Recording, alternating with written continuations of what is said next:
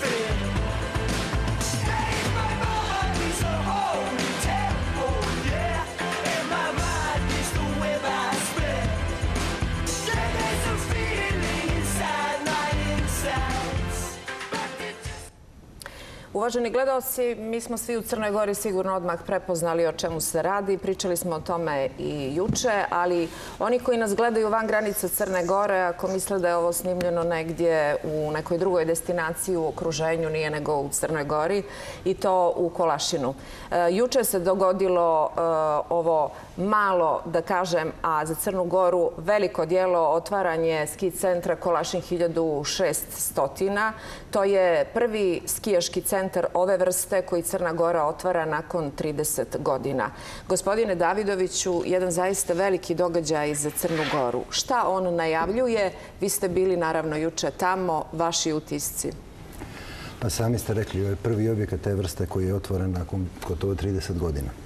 I rekao bih da juče nismo imali najavu, rekao bih nečega, nego da smo imali u prvom e, sa jedne strane potvrdu da ono što je bila strategija, što su bili planovi, što je bila politika, da to polako dobija svoju materializaciju. Znači, to je samo jedan, rekao bih, ugradili smo još jedan kamen u to priču o potrebi da se sjever ekonomski razvije, da se pruže nove prilike, da se bolje poveže i tako dalje. Juče je zaista bilo impresivno u jednom trenutku da, kao što ste sami rekli, da kad se gleda sa strane, djelovalo je kao da je to moglo da bude neki ski centar u bilo kojoj drugoj e, svjetskoj destinaciji koje su prepoznate po, po zimskom turizmu. E, bilo je puno ljudi, reakcije su izuzetno dobre. Ja mogu da kažem da smo mi sa promocijom e, Kolašina 1600, nacionalna turistička organizacija u saradnji sa ministarstvom je počela već prije nekih 6-7 mjeseci i kroz regionalne kampanje i kroz druge projekte koje smo radili. Znači, kada pričamo o skijalištu Kolašin 1600, kada pričamo o budućim smještajnim kapacitetima koji treba da budu izgrađeni na toj lokaciji i na drugim lokacijama i Žarski i, i, i, ovaj, ostale Smiljača i tako dalje. Ali recite nam konkretno za Kolašin. Tu su planirani hoteli, dobar dio ovih informacija osnovnih smo čuli, ali planirano i nekoliko hotela, je li tako, i drugi sadržaj? Jeste. E, raspisan je bio tender, potpisan je ugovor, on tek treba da stupi na snagu, ali ukupna procjenjena investicija na tom lokalitetu će biti oko 70 miliona eura. Prva faza koja treba da se realizuje u naredne četiri godine je nekih 12,8 miliona eura. Znači u nove smještajne kapacitete. Jer zbog čega je to važno? Istina, imali smo sve prilike da vidimo da se zaista radi u jednom kvalitetnom projektu i da to zaista sve je po najvišim standardima. Međutim, ono što je njegova komparativna prednost kada pogledamo sa druge strane jeste činjenica da završetkom autoputa mi imamo novi ski centar, nove smještajne kapacitete koji će biti udaljeni 35-40 minuta od aerodroma i to kvalitetnim novim putevima. Uh, udahnuli smo uh, novi, novu mogućnost privrednog života u nekim dijelovima Crne Gore gdje ona do sada nije postojala.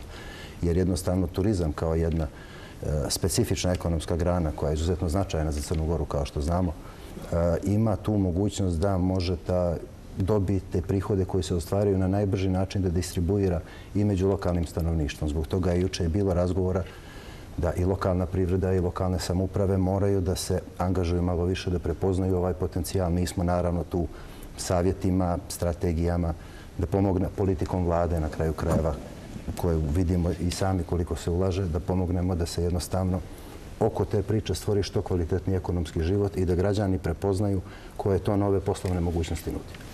Mi smo vidjeli i sinoć podsjetili da je naš e, predsjednik vlade Duško Marković e, dao obećanje da ćemo mi e, ski centar Kolašin 1600 imati za nešto više od godinu dana i to se zaista desilo. Izuzetno je važno i za građane, i za turističku privredu, i za investitore, meni se čini, da pokažemo da držimo obećanja.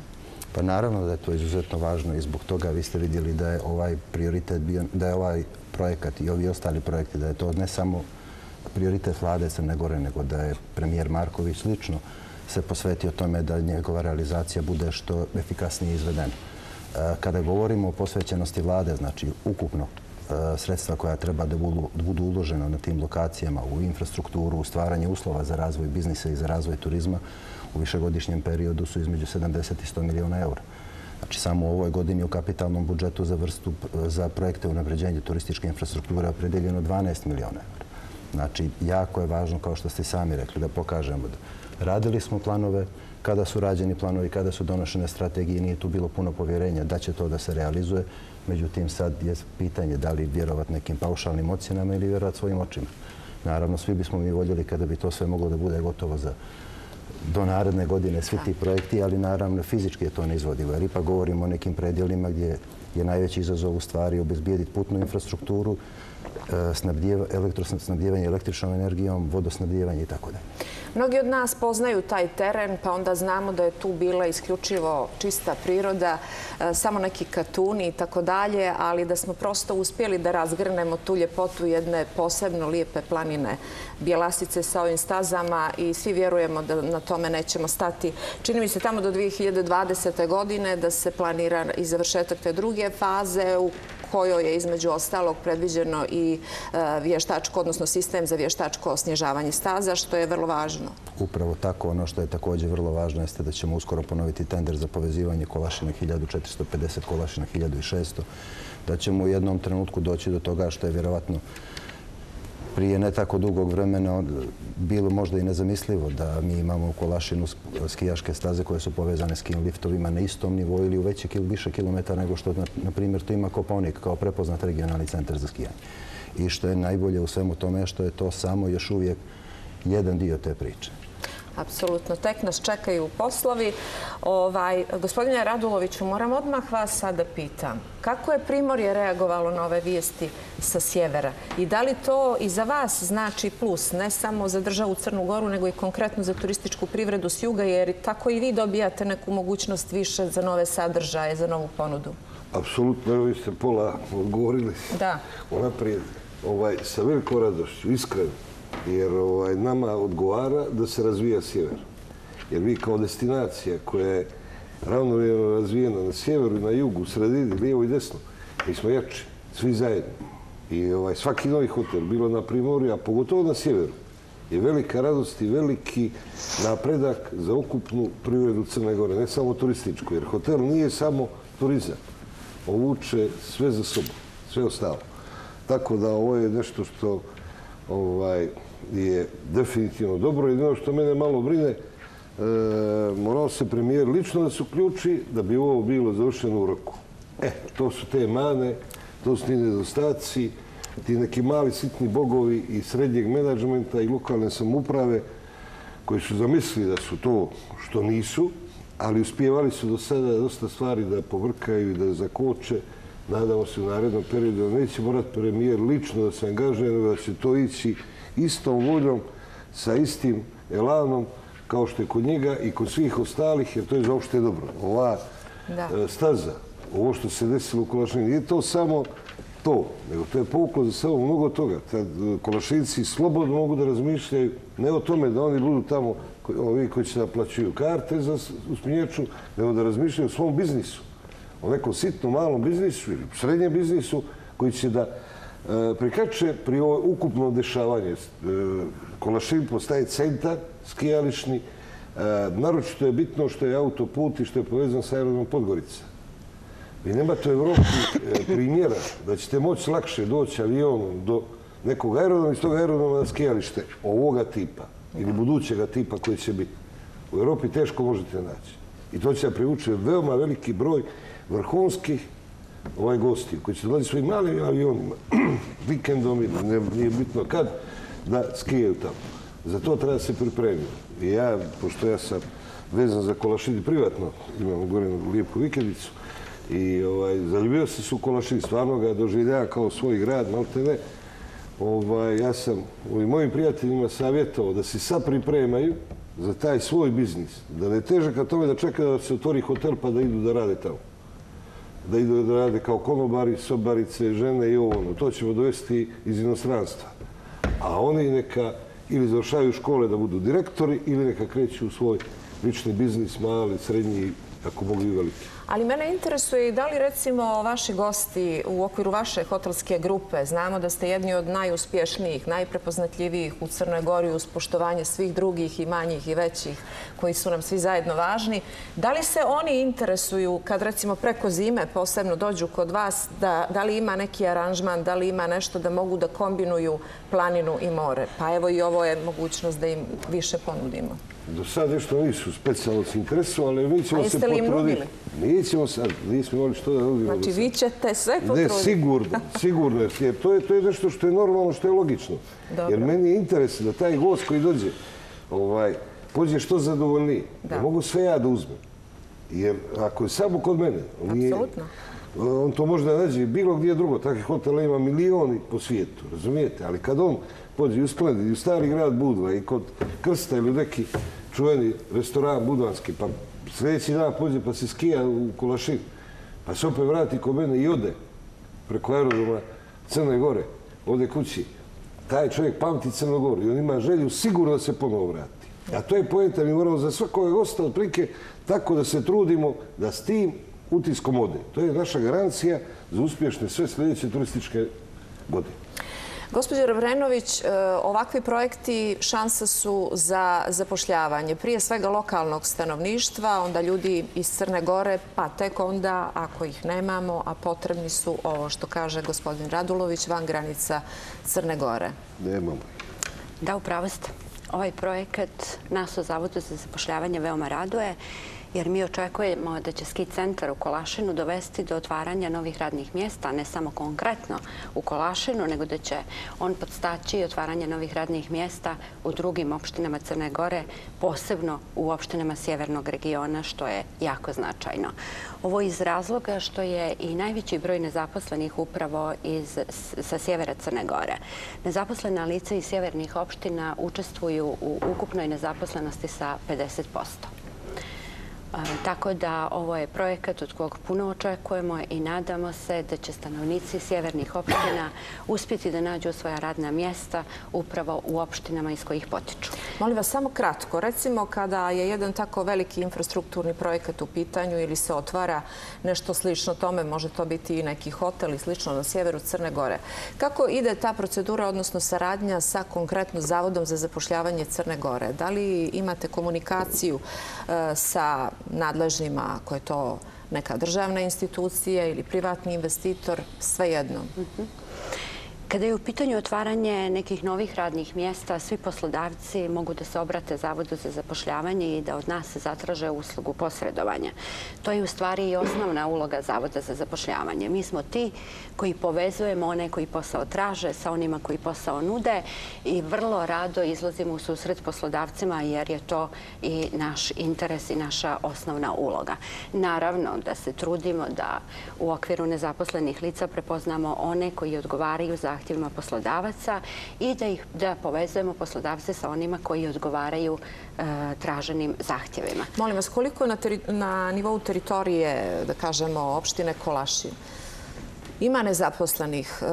Nije to, da kažemo sad, da upremo prstom u nekoga greška specijalno jednoga ili e, je jedan razlog u pitanju. E, Dugi je niz godina, puno se vremena čekalo da se otvori nešto veliko i značajno na sjeveru. To vas pitam iz razloga da prosto ti ljudi nekako krenu i sami možda da naprave neki prvi korak ka tim novim projektima koji su već uspjeli da ponude to svoje znanje, da se malo raspitaju, da budu malo i oni aktivniji?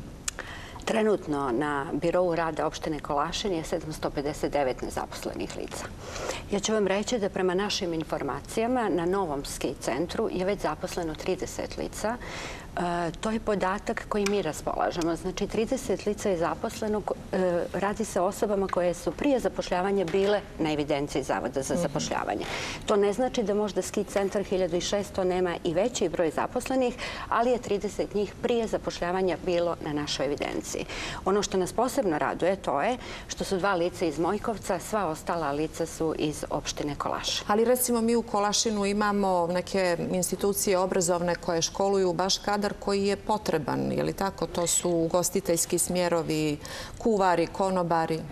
E, ja ću sa zadovoljstvom kazati da Srednja stručna škola u Kolašinu je prije dva, tri mjeseca dobila licencu za e, obuku za turističko-ugostiteljska zanimanja, tako da ćemo sada u Kolašinu imati mogućnost da naša nezaposlena lica e, školujemo za ta zanimanja u Kolašinu.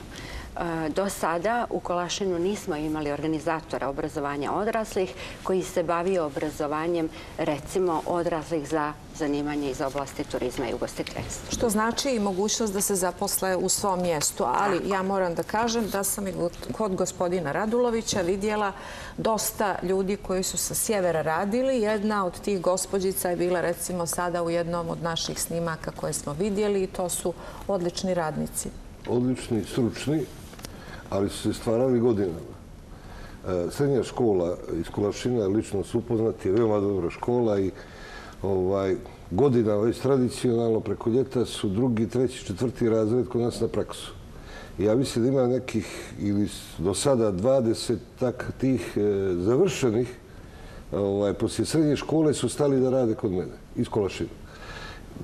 Odlični profesori, odlično rade, sve, sve, sve, ali vi za, na kurs od tri mjeseca ne možete, nema šanse da stvorite to što treba tim hotelima, jer ti hoteli sad sa ovom pričom, sa ovim nivom koji smo mi predstavili cijelu tu priču, tu nema improvizacije.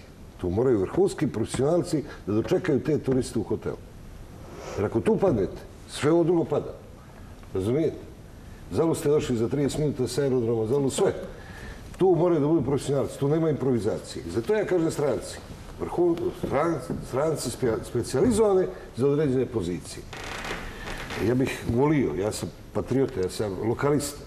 Ja imam u firmi 96% domaćih e, rezidenata koji rade kod mene. 96% provjerite, a imao sam prije 7-8 godina e, 70-30 je bio odnos u korist domaćih. I stalno taj broj raste. Ali kako raste? Zato što ih ja stvaram. Ne stvara ih obrazovanje. Ne ja, kao ja, nego tim s kojim ja radim. Pa dobro, negdje nije loše ni da privreda pomogne ponekad. Pa mi smo spremni, ali e, znate, ima to svoju granicu. Zašto onda institucije? Dobro, istina, e, ali... Ja lično imam puno, puno zamjerki na rad ovaj, i za ovde zapošljavanje i ukupne ovaj, klime koja je, kad je u pitanju i obrazovanje, i pa, od obrazovanja sve kreće. Ne kreće od porodice. Od porodice. Mene majka učila cijeli život me vikala, uči sine, ćeš morati da radiš. I sreća što nisam poslušao. Sreća što nisam poslušao. Da sam učio bolje, nas bi bio negdje neki, ne znam, možda profesor ili nešto i ništa da bi znao. A dobro, nećemo pa ni da destimulišemo ljude. Znanje je znanje je najveća vrijednost. Poenta jeste, ali da to znanje bude praktično. Apsolutno. Da to znanje bude primjenjivo. Ali ovo neka bude ovaj, evo za drugi krug i da kažem, to jeste možda i tema za posebnu emisiju. E, što hoću vas da pitam, gospodine Orlandiću, e, da li je važno velikim e, turoperatorima, turističkim agencijama koje se interesuju za konekcije, u ovom slučaju sa Crnom Gorom, Morom, tako i na drugim mjestima, kad čuju za ovako velike projekte kao što je ovaj koji se dogodio juče? Da, svakako. Dakle, da li to privlači njih da se interesuju za našu destinaciju? Da, svakako, kao što smo svi imali zajednički priliku juče da vidimo, dakle, skijalište 1600 će svakako dovesti nove putnike i nove investicije u Crnu Goru i to je jedna od ključnih stvari koja će u narednom periodu obogatiti turističku privredu kao što svi mi, svi mi ovdje vidimo. Dakle, samim otvaranjem novih turističkih rezorta, skijališta i tako dalje i tako bliže, dakle, mi svakako imamo veći broj, veći broj putnika. Treba podsjetiti da aerodromi od 2003. godine kad su preuzeti od strane države Crne Gore i formiranje tadašnjeg preduzeća, dakle iz godinu u godinu imaju rast i broja putnika i rast e, broja aviona, što je jako bitno i zanimljiva stvar je da Na primjer, imamo 16 redovnih destinacija koje su praktično od 2006. 7. 8. godine i to je najbolji pokazatelj činjenica da sve aviokompanije su mijenjale svoje tipove aviona. Dakle, na početku su to bili avioni od 60, 70, 80 mjesta da bi sad došli na avione koji primaju preko 150, 160, 170, 180 putnika i to vam pokazuje samo interesantnost destinacije i države Crne Gore. Da, ali da kažemo i da od tih nekih 2000 tih je sigurno poraslo interesovanje sa sticanjem nezavisnosti, sa imenom dakle, Crna Gora. Politička stabilnost koja krasi našu zemlju je ključna stvar koja dovodi i putnike i turiste i svakako novi rezorti, hoteli koji se otvaraju su šansa za sve građane Crne Gore pa i za jedan mali dio u lancu turističke privrede kao što su aerodromi Crne Gore. Mi ovo što gledamo, to su čini mi se kadrovi niskobudžetnih kompanija. Nešto kasnije ćemo o tome pričati. Raduje zaista podatak da i e, velike e, kompanije te vrste se interesuju za Crnu Goru, da ćemo imati goste koje će oni dovoditi ove godine u e, Crnu Goru. Gospodine Raduloviću. Samo da pomenem ili da podsjetim, uh, low coasteri priča je počela prije do 7-8 godina, CTU je pokrenuo. Kako kod nas teško se probijaju neke stvari, a poslije ih prihvatimo i to mene lično raduje. Pa dobro, raduje. ima smisla. Ima smisla. Tada su na vladu neodređeni funkcioneri pričali kako CTU hoće da uništi Montenegro Airlines. Dovođenje low coastera. Kolika je to glupost? To danas vidimo sa tom definicijom tako izrečeno. E, isto tako za strane radnike. Danas se, to je strašno, to je sve to grđe, zato što imamo toliki broj zaposlenih da govorimo o strani radnicima. Ali ti strani radnici će otvoriti nova radna mjesta bolja i bolje plaćena ovima koji su sada zaposleni. Jer ako je zaposlimo po principu radilovke, a oni ne zadovoljavaju na toj poziciji, nisu meritorni, svi zajedno padamo. Oni će dobiti 10, 20, 50 plata, za 5 godina će po kući oni i vlasnik toga biznisa i svi zajedno. Imamo takvih primjera i u turizmu poprilično koliko je hotela pošlo na dobož. Tako da nema, u turizmu nema improvizacije. Naravno. Htjeli ste nešto? Dakle, upravo prije par dana smo imali potvrdu ispravnih odluka koje su se tad 2012. i 2013. godine donijeli u našoj zemlji, dakle, uz pomoć i CTU-a i aerodroma i inicijator svega toga je u suštini bila i potvrda toga je bila vlada Crne Gore. Dakle, bilo je prije par dana 500.000 putnik koji je letio Ryanair. Ryanair, da. Dakle, 500.000 putnik od 2013. godine i to je stvarno nešto što je najbolja stvar koja pokazuje što smo sve mi uradili u prethodnom periodu. Treba podsjetiti da je Ryanair jedna od najmoćnijih svjetskih aviokompanija i od 2013. je tu. Dakle, ona na, na današnji dan leti na pet destinacija, a vjerujem da ćemo u toku emisije spomenuti dvije nove aviodestinacije koje ćemo letjeti sa njima. Dobro, ovaj, ono što e, sam htjela da pitam gospodine Davidoviću, ukoliko vi nijeste imali komentar na neki o- od dijelova izlaganja. Ja bih samo imao kratko. Znači, Izvolite. e, pitanje radne snage u turizmu je, ja bih rekao, najkomplikovanije pitanje koje mi imamo kada govorimo o turizmu danas. Mi često imamo i u javnosti percepciju da e, turizam se posmatra kroz projekte, kroz hotele, kroz ono što fizički možemo da vidimo. I naravno to jeste dio te priče. Međutim, turizam je usluga. I uslugu vrše ljudi. I ovo što kaže gospodin Radulović. Znači, najbolji hotel, najbolja soba, najbolji restoran, ako usluga ne valja, to neće biti dobro. E, turizam, mi se nadamo da će naredne godine, ako ne i ove, da dođe do 25% GDP-a. Suvišno je reći koliki je to generator novih radnih mjesta. I potpuno sam saglasan da negdje u toj komunikaciji, u tim dobrim odnosima i između institucija, između privrede i onih koji su više ili manje zaduženi za pojedine oblasti, e, treba da bude nekakav fokusirani, fokusirani raz, e, razgovor na ovu temu i jednostavno treba pronaći pravi odgovor na to. Imamo mi da budemo potpuno otvoreni u našem društvu i pitanje percepcija percepcije radnih mjesta u turizmu. Ja sam imao lično prilike često da čujem neće moje dijete, brat, sestra ili tako dalje da bude ovo ili da bude ono, ali e, kad pogledate neke druge stvari, do prije nekoliko godina ste imali percepciju kad kažete nekom da će da bude kuvar, da to bude doživljeno vrlo pežurativno. Danas je jasno kako se to promijenilo, da u jednom vrlo kratkom vremenskom roku to su izuzetno priznato i cijenjeno zanimanje, što i jest. Što je svako zanimanje je cijenjeno i svaki posao je dobar, samo ga treba raditi kvalitetno. Ugli. Izvolite. Samo da napunim, da do- dopunim u kontekstu ove priče. Kuvar je jedan od bolje plaćenih ovaj, e, profesionalaca, ne u samom hotelu, nego restoranima i širom. Ali da bi ogolio do suštine ovu stvar, i u Kolašin, i kod mene, i u bilo koji hotel, neće da rade za 300 eura.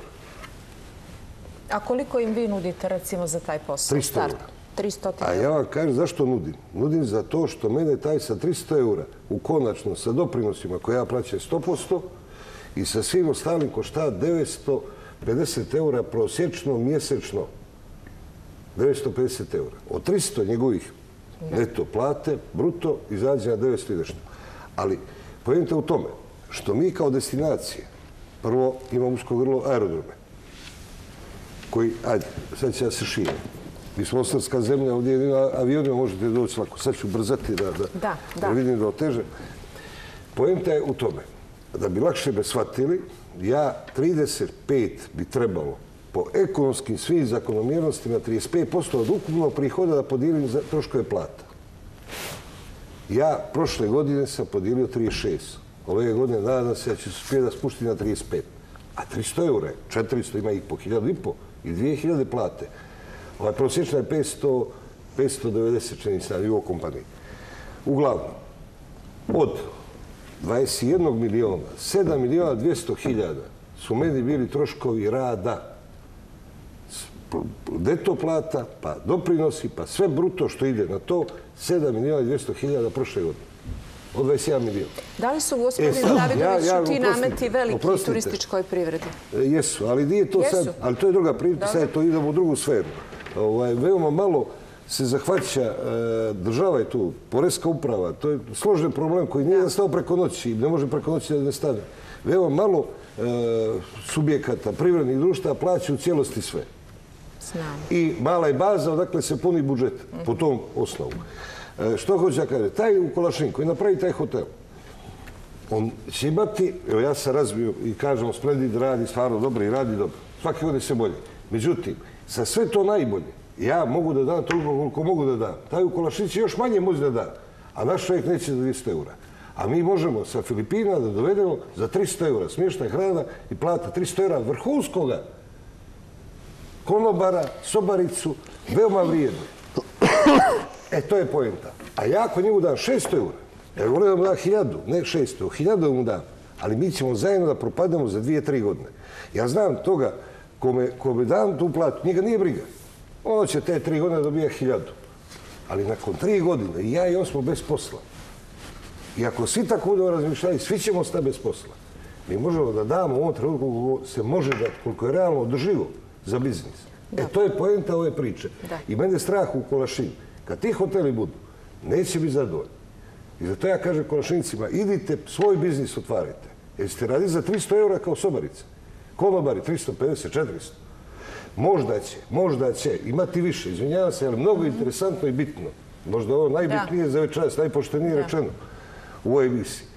Ovaj, možda će u Kovertu da dobije još koju stotinu. Ali onda je ukrao državi, nije ukrao državi, nego ukrao narodu, pa manje para za zdravstvo, za školstvo i za sve ostalo. Znači, nije mu dao ovaj platu 600 eura, nego mu je dao 200, pa na to platio doprinos, onaj 400 u kovertu mu je dao, pa ništa na to nije platio. I ukrao je 4 puta 6, 240 eura ukrao ovome narodu.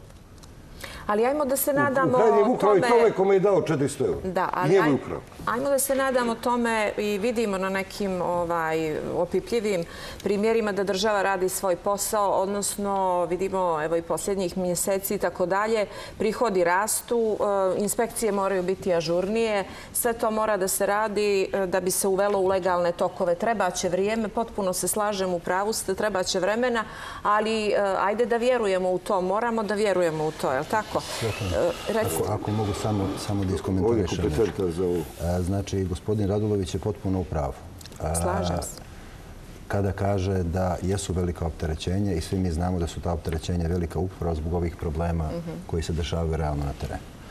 A, Mi smo to prepoznali i vrlo intenzivno se bavimo tim pitanjem. Ja mogu da vam kažem da smo uradili analizu poslovanja više manje čitave turističke industrije u Crnoj Gori na način da je obrađeno jedno po jedno preduzeće. I potpuno je jasno kako neko može da funkcioniše i da plaća izuzetno velike iznose i poreza i doprinosa i da zapošljava ljude, a da u nekim slučajevima to Ne funkcioniše. Ne funkcioniše. I to nije to da ne funkcioniše, nego to je ono što je rekao gospodin Radlović.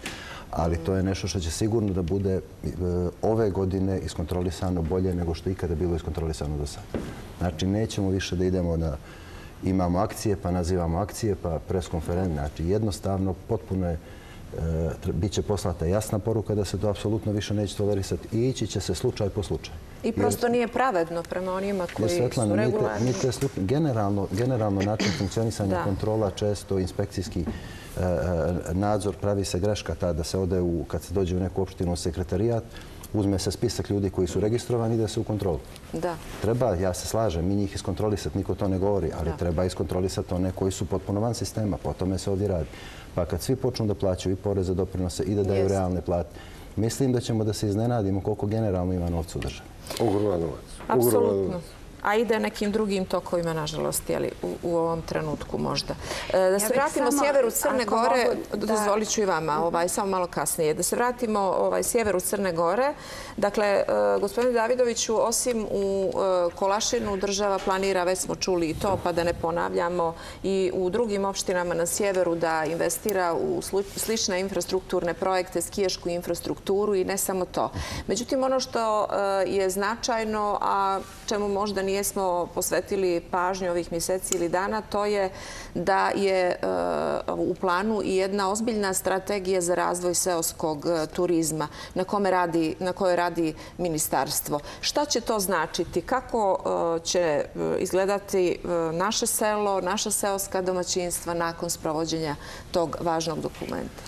Potpuno ste u pravu. Znači, vlada Crne Gore je krajem prošle godine usvojila program razvoja ruralnog turizma i jednostavno i taj program i skijališta o kojima smo pričali i autoput i još neki projekti o kojima možda možemo kasnije kao, e, kao što je Đavovića Pećina i tako dalje da pričamo. Jednostavno to pokazuje jedan sveobuhvatan prilaz e, jednom problemu, a taj je problem nedovoljno razvijen sjeverni dio Crne Gore. I kao što kroz infrastrukturu se radi ovaj jedan dio o kome smo razgovarali, mi sad pokušavamo da e, objasnimo i lokalnim samupravama i građanima kakav sve potencijal za zaradu postoji. E, vjerujte mi, često na tim sastancima mi dobijamo komentare kako je to moguće. Jer ljudi ne vjeruju, nisu navikli da oni svoje stare kuće koju je na selu koju možda obiđe jednom u godinu dana, da on može da zaradi nešto tu. Njemu to nije privlačno. I vrlo je teško objasniti ljudima da postoji veliki, veliki broj ljudi, posebno sa najrazvijenijih zapadnih tržišta, koji upravo traže to. Oni traže to posebno iskustvo i da vide kako se nekad živjelo da je tu selsko domaćinstvo, da je tu domaća hrana, da je jednostavno iskuse način života na sjeveru naše zemlje. E, kada smo ušli u tu priču, mi smo pronašli nekih manje od 30 registrovanih selskih domaćinstava u Crnoj Gori, što je izuzetno, izuzetno malo. E, koliko smo posvećeni tome da i koliko ozbiljno doživljavamo ovu priču, reći ću vam da smo posljednjim e, izmjenama zakona o turizmu i ugostiteljstvu koje su trenutno u skupštinskoj proceduri, sve vezano za seoska domaćinstva povukli na nivo ministarstva. Znači, neće više biti na lokalnom nivou. Od odobrenja za rad pa nadalje. Zato što smo vidjeli da i tu često dolazi do nekih nesporazuma, dolazi do neznanja, pa ste vi u nekim situacijama imali da, na primjer, gospodin Radulović, kada njegovi ljudi e, treba da urade rekategorizaciju hotela svake tri godine, on plati taksu 5 eura državi. A, na primjer, neko ko neko je cijevernih opštinama, nije sad važno u kojoj, želi da pokrene svoje seosko domaćinstvo i taksa za njega je 150 eura. I onda je to zaista jedna prepreka. E, ono što nam je važno, znači nisu to samo seoska domaćinstva i smještaj, to je i proizvodnje hrane.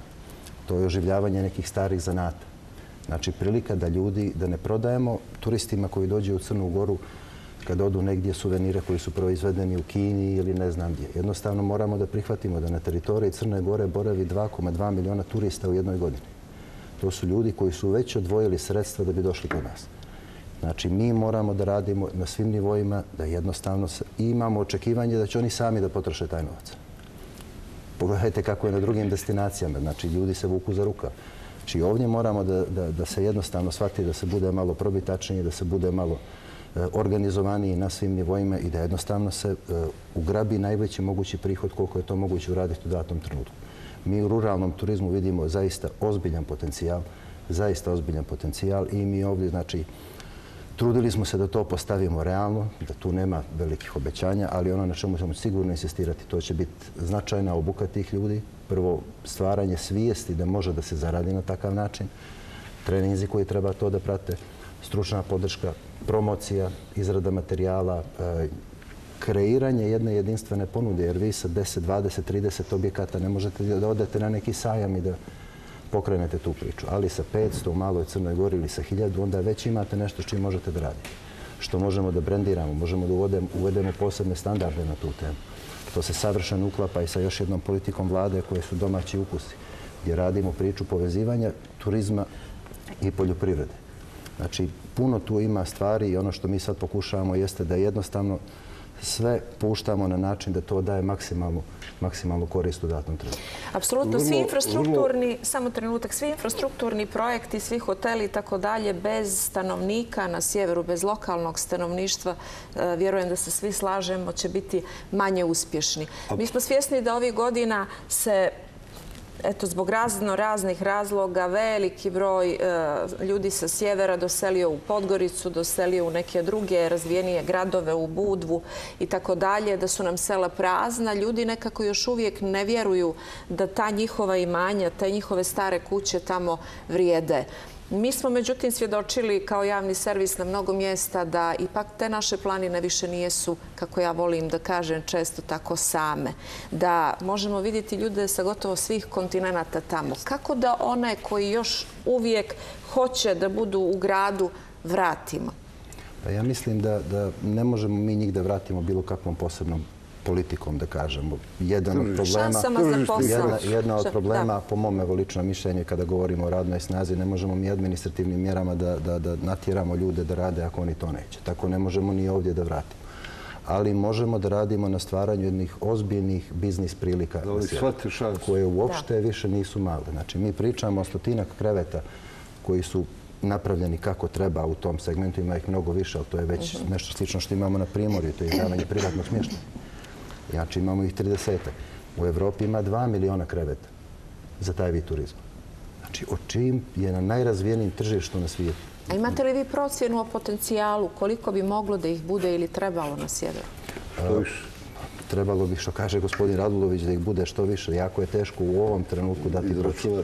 Znači, jer mi krećemo sa realnog stanja. Ja sam rekao, nama namjera nije da, da kažemo da će ih biti 10.000, da će ih biti 30.000, neka ih bude onoliko koliko budu prepoznali priliku.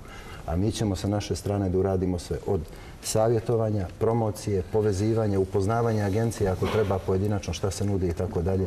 Jer kao što neko, e, što smo pričali ranije, lijepo je kad ode iz Plenida jedan dan da se skija pa se vrati ono da je zadovoljan. Zašto mu ne bi bilo ponuđeno da jednu noć noći negdje na sjeveru u nekoj kući da iskusi kako su naši ljudi žive ili kako žive na sjeveru. Mogu li, mogu li ja da to uprostim, da bi bolje shvatili ovi koji bi sutra možda eventualno bili uh, zainteresovani za taj vid? Ako niko mi ćemo s Primorja, jer mi znamo tu šansu, s Primorja ići kupova kuće na sjever kad krene taj rur, u ovaj seoski turizam. Uh, prosječan uh, dijete ili odrasao čovjek iz Njorka, Pariza, iz većih gradova, u životu nije vidio ovaj, kokošku, nije vidio kozu, nije vidio ovcu, nikad u životu nije ušao u vinograd. I oni žele upravo tako da potroše se dana, da rade, da. rade pola dana i da imaju tu okusicu, da imaju o neku stoku u štalu i to je za njega vrhunski doživljaj. Jer on to može samo da vidi u zoološki vrt. Da su kokoške, ovce i koze u zoološki vrt. E, to je tako. Ako je to tako, onda je to veoma atraktivan proizvod za tržište. I za to to svijeta u Evropi, Istra je već odavno ovaj, to revalorizovala i dovela do neslučajih visina. Sva sela su u toj funkciji po Istri. Da.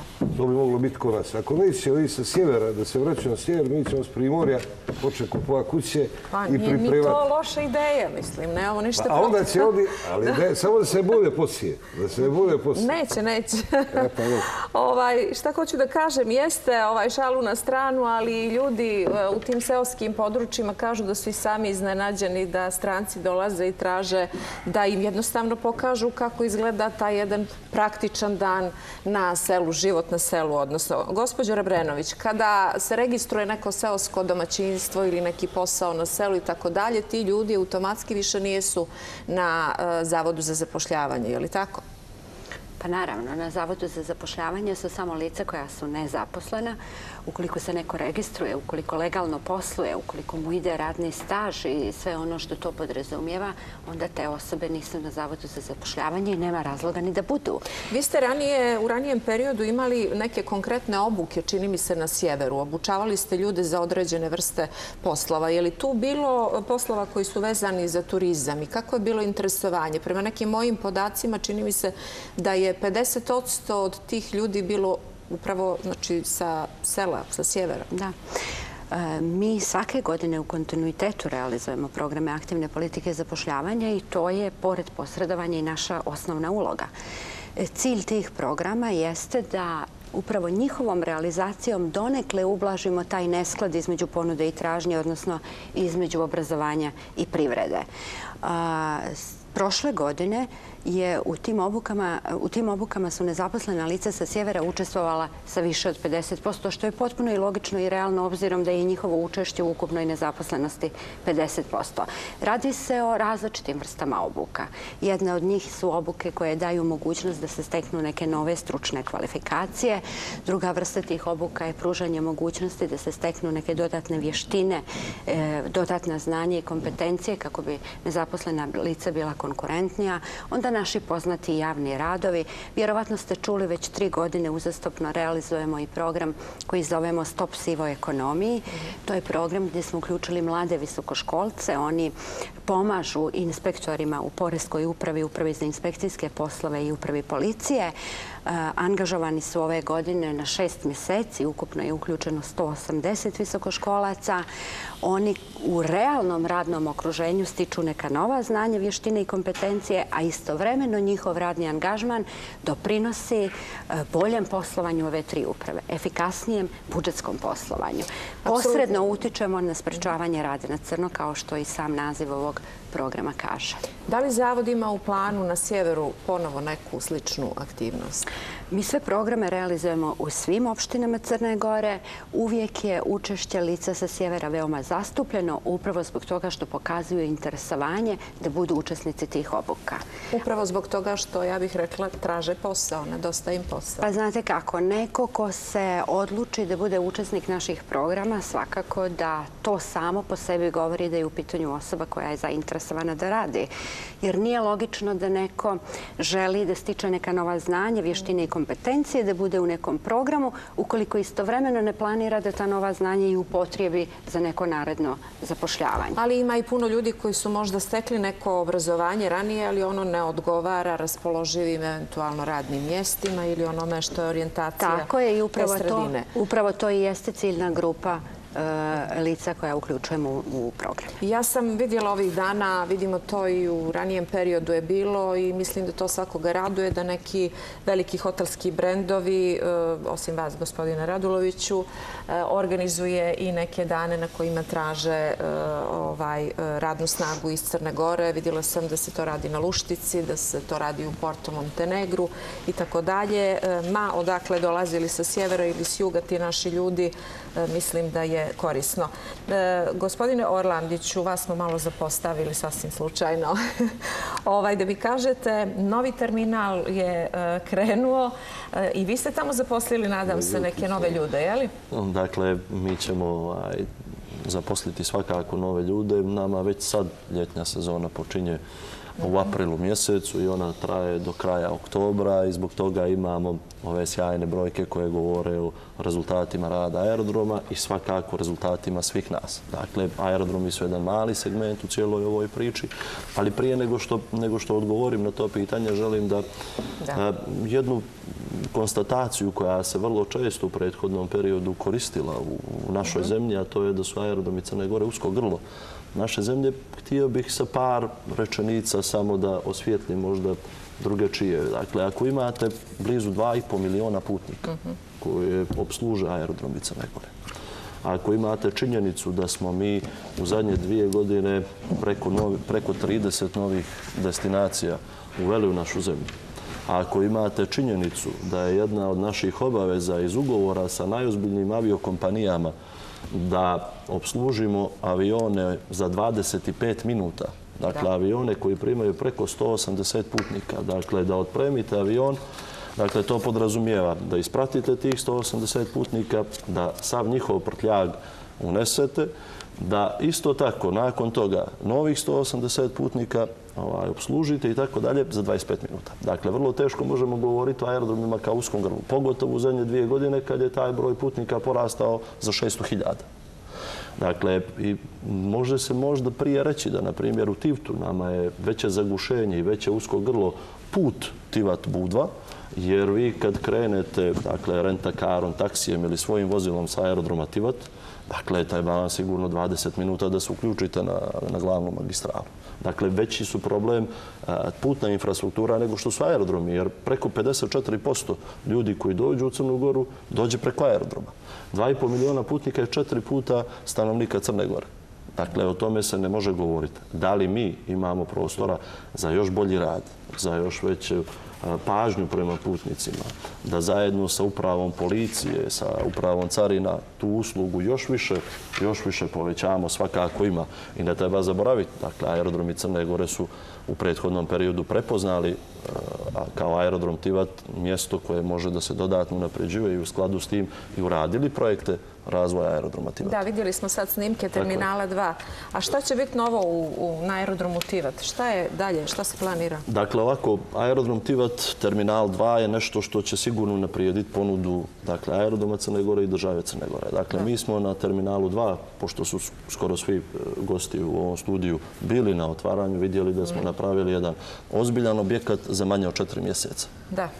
Dakle, tu imate dvije nove KD linije. Imate prostor za odlazeće putnike koji je praktično na, na nivou postojećeg terminala 2, terminala 1. Dakle, imate situaciju da Tivat, aerodrom Tivat ima samo 4000 metara kvadratnih. Dakle, u, tom, u tom maloj kutiji šibica, što ja vrlo teško mogu da kažem, veliko, velikim naporom svih zapošljenih tamo uspijevate da obslužite milioni 300 hiljada putnika. I tih milioni 300 hiljada putnika praktično u pet mjeseci. Dakle, to su izuzetno veliki napori i operative aerodroma Tivat i svakako svog servisa koje treba da pruži, pruži aerodromi Crne Gore. I volio bih da, da, dakle, mi nismo rekao koji autističani, mi vidimo sve nedostatke koje imamo, ali upravo radimo na tome. Mi planiramo ove godine da uradimo projekat dakle, dograđivanja i dolaznog terminala, planiramo da uradimo projekat novog biznis salona za to što na aerodromu Tivat dolaze izuzetno visoko platežni gosti. Dakle, to su ključne stvari i ono što smo počeli da radimo jeste noćni start Tivtu. Dakle, taj noćni start u Tivtu treba da donese nove putnike, svakako i veliki prihod državi Crnoj Gori, ali kao što vidite, dakle, imamo problem sa zakonom o javnim nabavkama jer nam je već jedan, jedan tender pao za, za noćni start. A imamo sreću da su za razvoj noćnog starta u Tivtu zainteresovane tri najozbiljnije svjetske kompanije, a to su General Electric, Airbus i Boeing. Dakle, to je ključna stvar i mi se nadamo da ćemo uspjeti da, da, to, da to uradimo u narednom periodu. Ovako, noćno slijetanje svakako e, tu će tek low cost kompanije da krenu da lete, jer oni lete u noćnim satima i jeftinije su cijede i bit će mnogo više putnika. Preko Tivta ne idu veoma platežni, nema ih u Crnoj Gori i nema ih nigdje u svijetu, sve manje visoko platežnih. Sa tim biznis salonom bili ste do sad, možete i sad, ovaj, WC, toalet papir, dozeri za tečni sapun, salvete da očistite ruke, redovno čišćenje WC-a, ne postoji. Odnosno, bio sam nedavno u Podgoricu, mora biti korektan do kraja, e, vidio sam da, koliko se ja čekao na sat vremena, dva put su ušle dvije čistačice, nešto su popreko gledali, jer ja sam već ono nije kritikovao, pa vjerojatno su ih samo malo stisli, pa se ja kriv, bar se me tako učinjelo, da se ja kriv što sad više rade ovaj, ima tih sitnih detalja. Druga stvar, 2,5 miliona. Ja nisam zadovoljan sa 25 miliona. A ne sa 2,5 miliona. Usko grlo je usko grlo. Ne može nativat djeti više da sleti lastavica, a ne avion. Sve je prodato, sve je popunjeno. Druga stvar, aerodromi moraju da budu što jeftiniji, što atraktivniji za avioprevoznike, da se što više njih nađe ovaj, nađe svoju računicu da leti prema Crnoj Gori. Nije to aerodromi, ni to Frankfurt. To su dva aerodroma koje su možda najslabija i najslabije opremljena u regionu. Evo, vidjeli ste ove zime, nema odlaživač za, za, za avione kad je temperatura ispod nule. Možda neće nikad treba, ali to mora aerodrom da ima. Jer je trebalo ove zime. Evo, metlava čiste. I tako dalje, i tako dalje. Ja neću da glorifikujem da su napravili veliki iskorak. Napravili su, ali padaju na malim stvarima.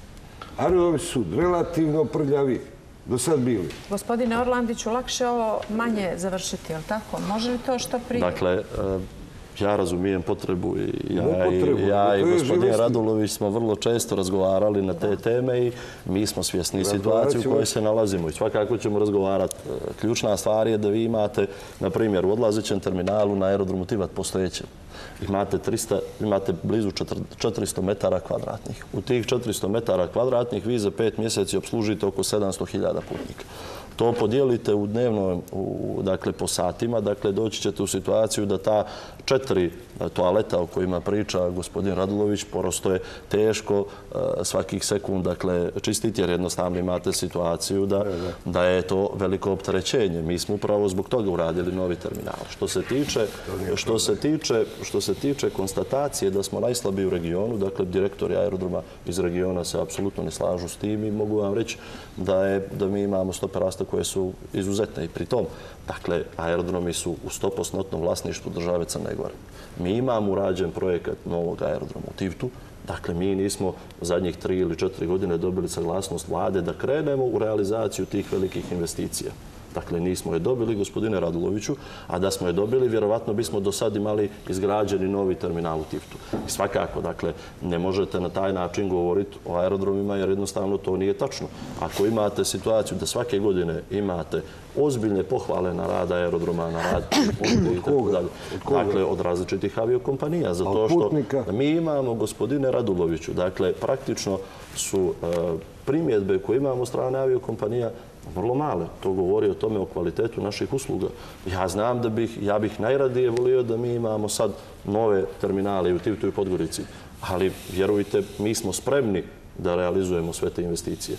Ali to treba da, da kaže država. Dakle, treba nam 10.000 metara kvadratnih novih terminala u Tivtu, treba nam 13.000 metara kvadratnih novih u Podgorici. Dajte nam priliku, realizovat ćemo ih, gospodine Raduloviću, budite sigurni. Pa dobro, država je i rekla koliko ove- se meni ove čini da traktore i će... uvedite ova vozila kao da sve aerodrome. Da, molim vas. Ovo traktorima vozite po aerodromu, to nema, Pa nema Znate šta, ja ni mislim da ovaj, e, gleda nas širi auditorijum i nije dobro da šaljemo na neki način e, Živu istinu. tu, sliku u svijet, Ali- ali nego da kažemo da je država je li tako prepoznala e, potrebu da Tako se investira u aerodrome i svi čekamo tu odluku kako, kada i ko će raditi taj veliki posao. Dakle- Gospodin Radulović, e, razumijem, priča... Gospođo Vujetić, ja moram samo jednu, jednu konstataciju. Dakle, mi da nismo imali podršku vlade Crne Gore za realizaciju ovoga projekta Terminala 2, koji je koštao blizu 3 miliona eura. Radi bio. Dakle, on će biti u upotrebi vrlo brzo zato što jednostavno u Tivtu imate e, zimski red letenja sa vrlo malo aviona i u tim, u zimskom periodu, bilo bi neracionalno da menadžment aerodroma drži otvoren i jedan i drugi aerodrom. Bolje ga trenirajte. Terminal. Dakle, mi ga već treniramo, gospodina Radulović, u toku su obuke za sve te ljude i budite sigurni da ćete biti jedan od prvih gostiju zajedno sa putnicima Lufthansa koji će doći u Crnu Goru. E, pa eto, došli smo do tog pitanja koje mene strašno zanima. Lufthansa ne ide baš na sve destinacije. Je. Da je to tako loše, gospodine Raduloviću, ja ne znam što- da li bi stvarno Lufthansa Pa što vi hoćete da kažete da su ovi zbog aerodroma došli u Crnu Ne, ne, naravno da ne. Naravno da ne, ali moraju negdje da slete. Žmureći su došli. Tek će da dođu, da vidimo šta je sa Kao- Lufthansom. Dakle, kao i uvijek, gospodin Radulović ovaj, upućuje dobronamjerne sugestije. Naravno, apsolutno. Oštre Mi ih, ovaj, mi ih vrlo često uzimamo ozbiljno i radimo na njima. Dakle, još jednom potvrda političke stabilnosti i bezbjednosti ove zemlje i sam ulazak u NATO savez je omogućio da nam mnogo lakše proteknu pregovori sa jednom od najozbiljnijih svjetskih kompanija, prvom u Evropi, dakle Lufthansa. Dovoljna je činjenica da ćete vi imati u njihovim e, knjigama koje stoje u avionima, kojih ima preko 720 ime Crne Gore, ime aerodroma Crne Gore. Dakle, to je dovoljna potvrda. Ono što je jako bitno, oni, će, oni su e, dakle, ove nedelje u posjeti aerodromu Tivat. E, vjerujem da će to izaći sve najbolje, a ono što je ključna stvar jeste da faktor punjenja tih aviona je preko 95%. Dakle, mi imamo od aprila mjeseca dakle, linije iz Tivta prema Frankfurtu i Minhenu koje će biti praktično skroz popunjene. Dakle, to je jedna od najbitnijih stvari sigurno za aerodrome Crne Gore. A opet kažem, gospodine Raduloviću, svi smo mi svjesni da ljudi u Crnogoru ne dolaze zbog aerodroma, nego dolaze zbog svih nas. Jedan osmijeh na aerodromu Tivat, jedan osmijeh van aerodroma, jedan dobar ugođaj u vašem hotelu ili hotelom drugo, će omogućiti da svi ti ljudi ponovo dođu. Da. Međutim, da bi bio do kraja pošten i jasan, problem je u strukturi upravljanja tih aerodroma. Izvršni direktor, volšeba način, statut promijenjen, ustav, on ima određene odgovornosti, ali prava veoma malo. Upravni odbor gdje ljudi koji veze nemaju sa avionima, ni sa aerodromima, donose poslovnu politiku. Dobro, sad, e sad da bi mi, da bi mi to popravili, da bi mi to popravili, mi moramo ovo javno da govorimo. Jer jesu ovako, jesu ovako. Ja ne želim da mene čistačice na aerodrom Podgorica krivo gledaju kod da se ja kriv, što sad moraju da budu WC i čisti. Dobro, samo kratko, molim vas. Nemojte da svodite priču o aerodromima i turističkoj ponudi na to da li su toaleti čisti ili ih ima. Dakle, mi smo prošle godine upravo prepoznajući problem toga, dakle, uradili nove toalete u dolaznom terminalu. Dakle, na aerodromu Tivat od kad je otvoren 60. i neke godine, nisu postojali toaleti u dolaznom terminalu. Ali svođenje priče i ove emisije na priču toaleta je smiješno. S druge strane, dakle, odbor direktora je organ upravljanja u aerodomima Crne Gore i mi zajednički donosimo odluke i tako će biti u narodnom Sa koliko destinacija u ovom trenutku aerodromi Crne Gore, e, ovaj, da kažemo, posluju ili koliko kompanija je tu e, tokom ove godine možemo očekivati sa kojih tržišta sve ovdje turisti? Dakle, mi u 2018. godini imali smo preko 55 destinacija dakle, koje su, s kojima je Crna Gora povezana. Kad pogledate kartu Evrope, dakle, imate situaciju da još uvijek nismo povezali Pirinejsko polostrvo, da treba da pojačamo prisustvo na Baltički, u Baltičkim zemljama i svakako da pojačamo prisustvo u Skandinaviji. Mi smo to prepoznali i u skladu sa tim ovaj, radimo i vjerujem da ćemo u toku emisija reći par, par novih, novih situacija vezano za to. Dakle, svakako, ključna stvar je u ovoj godini dolazak Lufthansa, dakle, koja će Tivac spojiti sa Frankfurtom i Minhenom. Također imamo dobru stvar, a to je da će Montenegro Airlines da uključi tri, četiri ili 5 novih destinacija, što je jako bitno. Dakle, svi smo ovdje saglasni da je Montenegro Airlines apsolutno potreban, potreban u ovoj državi. I ono što je, što je također zanimljivo jeste da imamo uh, veliki porast sa tržišta Zapadne Evrope. Dakle, to je nešto što je, što je izuzetno dobar pokazatelj što govori o, o, svima nama, o svima nama zajedno. Gospodine Davidoviću, e, Crna Gora se nekako, čini mi se, ove godine vidljivo je to na jedan drugačiji način predstavlja e, svijetu. Vidim da je uključena i naša diplomatska mreža. Vidim da smo na nekim mjestima gdje ranije nijesmo bili. Moram vam reći da je bilo zadovoljstvo e, meni kao crnogorki, vjerujem svim crnogorcima i drugima koji ovdje žive da gledaju naše ljude na promociji u Zagrebu. Uh, neka nova tržišta, da li su u pitanju, gdje smo sve prisutni, šta ste novo pripremili za promociju destinacije, obzirom da ste vi predsjednik izvršnog odbora nacionalne turističke organizacije? Ja bih prvo samo dao jedan komentar na nešto vrlo kratko oko nebitno ime kompanije i nebitno je... Mhm.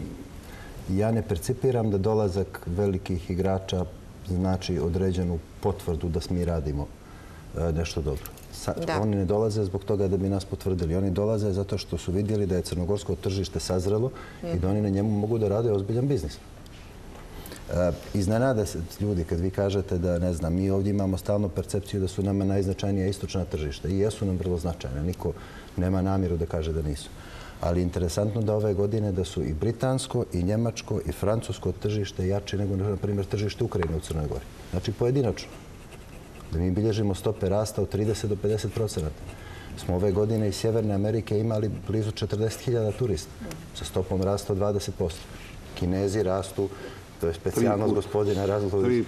Zvanično 80% godina na godinu. To su nevjerovatne stope rasta.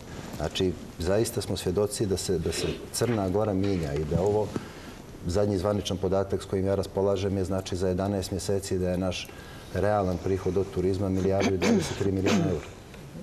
Znači jednostavno ulazimo u neke nove stvari. Evo što sad imamo prilike da vidimo, znači i sami ste rekli, ali vraćamo se na priču o povezivanju resursa kojima raspolažemo. Uključeno je i Ministarstvo turizma i nacionalna turistička organizacija. Počeli smo da tražimo mnogo više od lokalnih turističkih organizacija, od javnih preduzeća koja, koja imaju određene nadležnosti u tom poslu.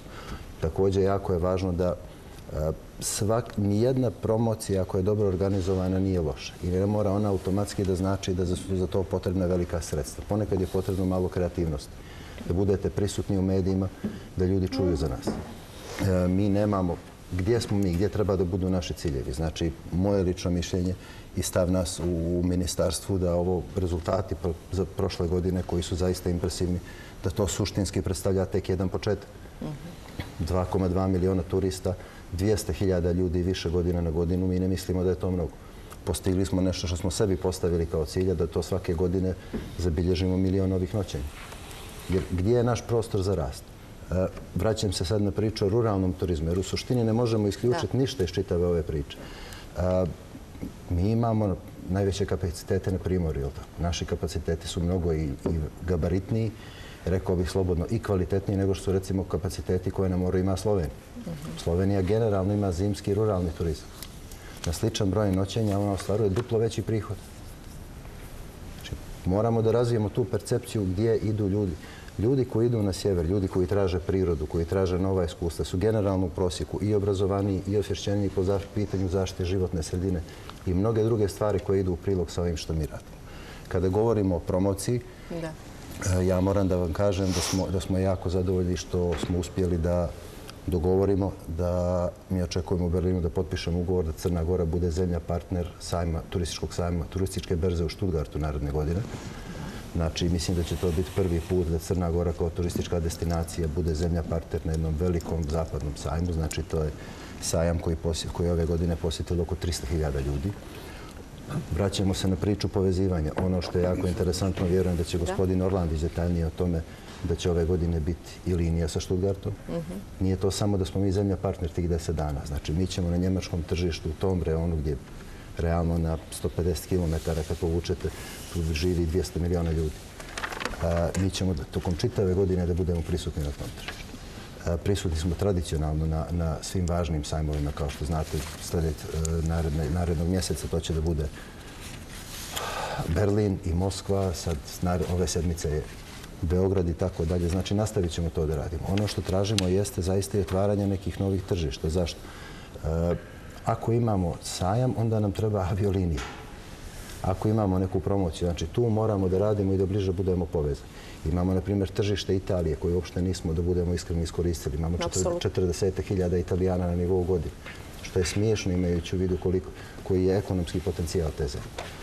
Tako da imamo, imamo puno planova. E, mi očekujemo, radili smo neke korekcije u strateškom marketing planu da da postavimo da bude realan, da bude zasnovan onome što mi zaista mislimo da možemo da uradimo. Dugo čekamo taj plan? E, plan je bio napravljen, međutim ono što je nama bilo kad smo pogledali kako je zamišljen taj akcijoni plan, gdje je svaka mjera koja je definisana, zaista definisana kako treba.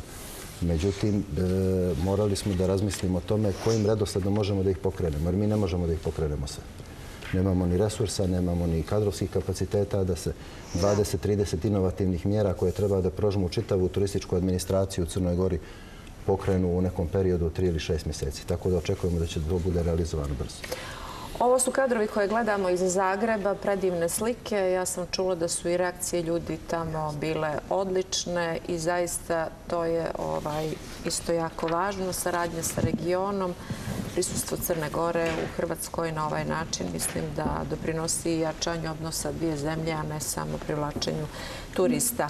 Gospodin Rebrenović, molim vas, evo, bližimo se kraju emisije. Koliko će konkretno ove godine biti angažovano sezonskih eh, radnika na sezonskim poslovima zapravo u Crnoj Gori? Mi smo planirali ove godine da zaposlimo oko 10.000 nezaposlenih lica iz evidencije Zavoda na sezonskim poslovima. Bili smo veoma realni kada smo pravili taj plan. To je To je, to je plan koji je potpuno identičan ostvarenom zapošljavanju u prethodnoj godini. Znači, mi smo u 2018. godini imali nešto malo ispod 10.000 zaposlenih radnika na sezonskim poslovima iz evidencije zavoda. Potpuno smo svjesni da mi našom ponudom ne možemo potpuno odgovoriti zahtjevima poslodavaca, pogotovo kada su u pitanju neka radna mjesta koja podrazumijevaju znanja, stručne kvalifikacije i iskustvo, kao što je gospodin Radulović rekao kuvara, konobara, pizza majstora i roštilđija mi nemamo dovoljno i znamo da ne možemo potpuno odgovoriti e, zahtjevima poslodavaca za te radne pozicije, a računamo da ćemo u velikoj mjeri odgovoriti na neka radna mjesta koja ne zahtijevaju previše znanja i iskustva kao što su pomoćni poslovi. I od ovih 10.000 koliko planiramo da zaposlimo, većina njih će u stvari pokrivati upravo te pomoćne poslove e, koji nadam se da će ovaj nadam se da će poslodavci njima otvoriti vrat. Naravno, o e, temi zapošljavanja i tako dalje, to je jedna velika tema, potrebna je posebna emisija. Ono što bih vas ja pitala sad samo, ako možete kratko da kažete, ako je i prošle godine bilo 10.000, ako ove godine planirate također 10.000, a turizam ide uzlaznom linijom, možemo li pričati o očiglednoj sivoj zoni koju stvarno moramo da riješimo. Dakle, negdje mimo tih legalnih tokova radi još jako puno ljudi i taj prihod umjesto državnu kasu ide negdje drugo. Možemo pričati o radu u neformalnoj ekonomiji, ali moramo uzeti u obzir još jednu činjenicu. Mi smo prošle godine imali nešto malo manje od 10.000 zaposlenih sezonskih radnika, ali je nama ove godine nezaposlenost dosta niža u odnosu na prethodnu godinu, pa smo i to uzeli u obzir. E, trenutno je na evidenciji Zavoda za zapošljavanje 38.611 nezaposlenih lica, a prošle godine e, u istom ovom periodu imali smo 40.863 nezaposlena lica. E, kada kažem 10.000, na početku sam kazala, e, nastojali smo da budemo objektivni i realni, što ne znači da se nećemo potruditi da ostvarimo i mnogo veći broj zapošljavanja i svi ćemo se truditi da on bude veći i bit ćemo zadovoljni ako ostvareni rezultat bude iznad planiranog. Ono na što bih ja skrenula pažnju i ono što zaposleni u zavodu smatraju, to je da se kod nas ne koristi dovoljan potencijal domaće radne snage, pogotovo kada su u pitanju mladi, odnosno studenti i maturanti. Mi tu vidimo veliki prostor za zapošljavanjem na sezonskim poslovima. Jer naši studenti pokazuju veliko interesovanje i motiv da rade tokom sezone. U prilog ovoj tvrdnji ide i činjen, ide i informacija da se oni odazivaju u jako velikom broju na svim sajmovima koji se održavaju i koji su namjenjeni njima. Ja ću vam kazati samo studentski parlament koji već 12 godina uzastopno realizuje sajam Summer Job.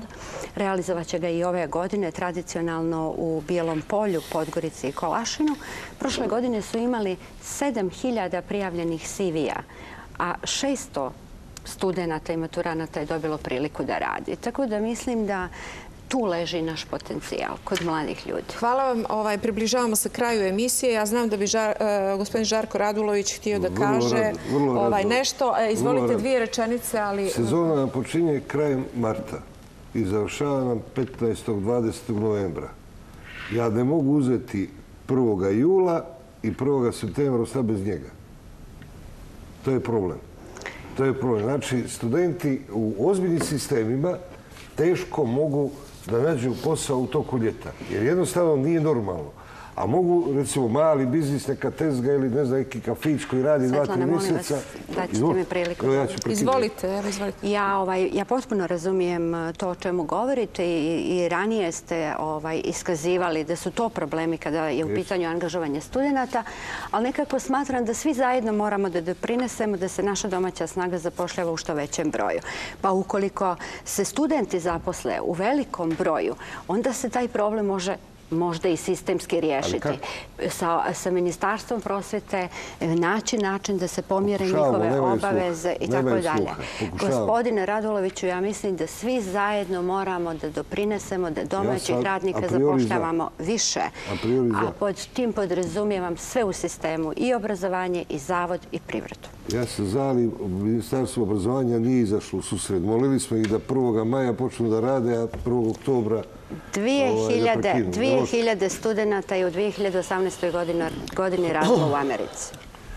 Dobro. Sve će ih više raditi. U Njemačkoj sam pogotovo. Oni su potpuno otvorili tržište rada. Potpuno. Za razliku od nas. Gospodin Raduloviću, bez završni omladine. krug, vrlo kratko. Recite, vi ste nedavno meni rekli da su naše turističke sezone sve izvjesnije, da je malo toga neizvjesno. Ušli Zašto smo, u jednu kažete stabilnu, gledalci? ušli smo u jednu stabilnu fazu, napravili smo totalnu disperziju, došli smo na tržišta koja su totalno predvidljiva, koji blokiraju u junu ove godine za e, maj iduće godine.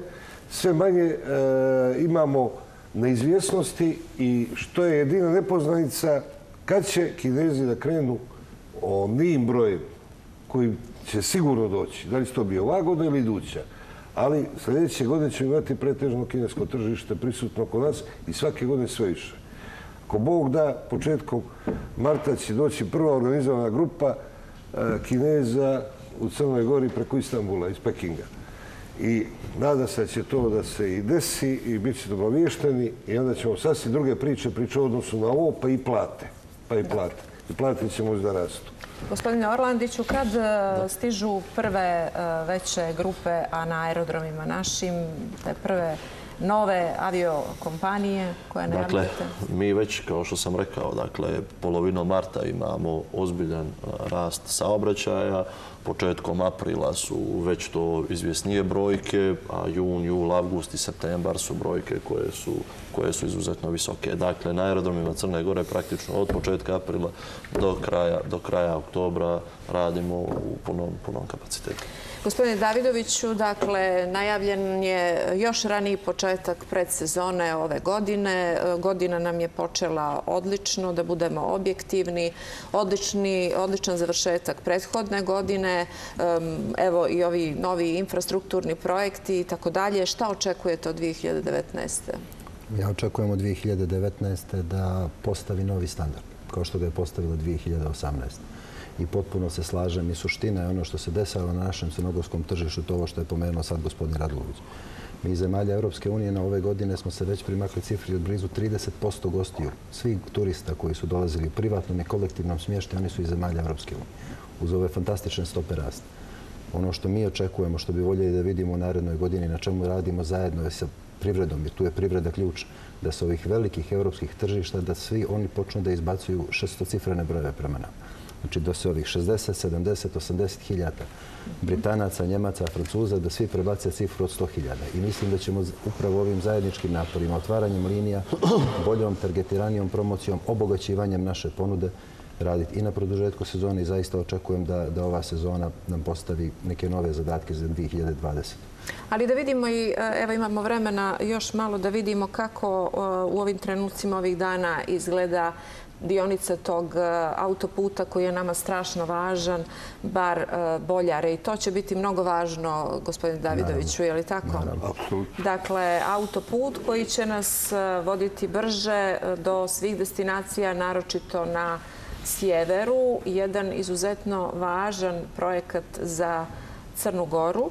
E, To je ono što smo rekli da će naši turisti e, iz sa aerodroma Podgorica dolaziti recimo do Kolašina za 35 minuta. To su dobre vijesti, to je ono što interesuje svakog turistu, je li tako? Dakle, on traži dobar, brz, udoban prevoz do Ali destinacije vidite, na koju ide. Nisu to samo novi smještajni kapaciteti. Apsolutno. Znači, na sjeveru... na Velika šansa. Velika šansa, jer sjeverne turistička ponuda treba tokom ljetnih mjeseci da se ne promoviše u inostranstvu, treba da se promoviše na primorju. Da, da. I Tamo je njima tržište. Da. Jer zahvaljujući autoputu više neće trebati dva ili tri sata prevoza da bi se nešto posjetilo ili vidjelo, nego će trebati sat ili sat i 15 minuta. Oni će imati dvije sezone. To je kvalitativni iskorak. Evidentno je da sve više ljudi iz Primorja i iz centra Crne Gore ovaj, i zimuje i ljetuje u našim, u našim sjevernim opštinama. I možemo li govoriti o tome da idemo ka tom trenutku da se dvije sezone, makar na sjeveru, nekako spoje? Ljudi na terenu kažu da se to već dešava. Dešava.